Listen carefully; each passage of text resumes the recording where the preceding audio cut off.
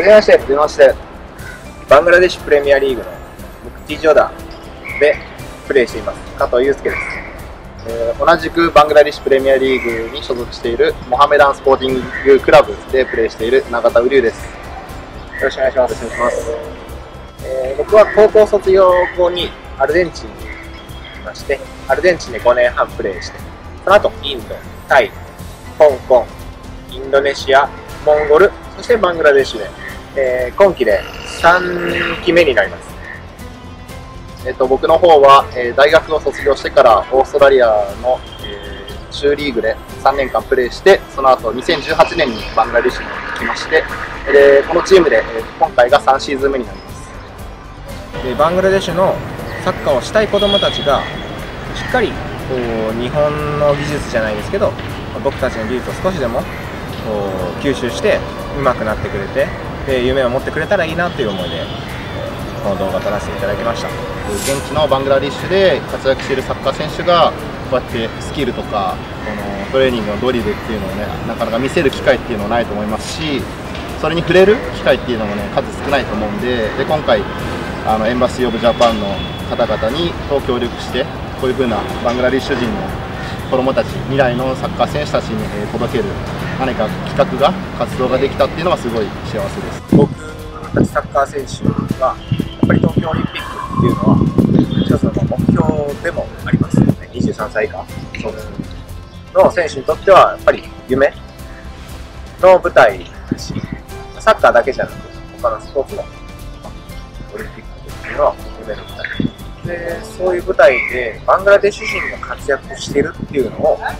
僕は知ってほしいな。と思ってあアーチェリー。はいはいそうですね。います、うん、でそのアーチェリーの選手とかそういう選手がいることをもっと知ってほしい。でオリンピックっていう素晴らしい舞台がある。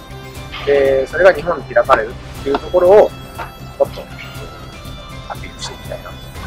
僕は思います。世界大会をこう見る機会すらもあまりないと思うんで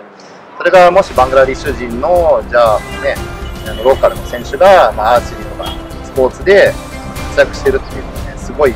国を挙げて応援するべきだと思いますしそれは、ね、スポーツやってる人有無関わらず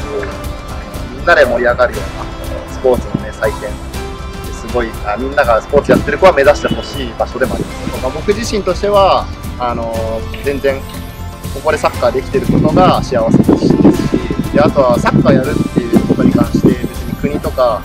えーレベルとかそういう年齢とかは、まあ関係ないと思ってますしまあこういうところで戦ってる日本人がいるっていうのを知ってほしいです。一人でも多くの方々に、まあ、僕も皆さんに応援していただけるような、えー姿勢だったり結果だったりを残せればと思ってこの国でえー勝利してます。え本当にここバングラデシュに来る今回来るにあたって、まあ、すごい悩みました、えーこの年になってオファーをもらえるっていうありがたさを感じながらやっぱりこう最後決断するきっかけになったのは僕はサッカーがやっぱり好きだ。っていうところで本当にサッカー好きでで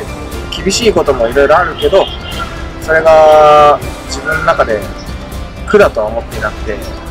それが僕らの強みなのかなと思ってます。でそういうところで頑張るやっぱり日本人。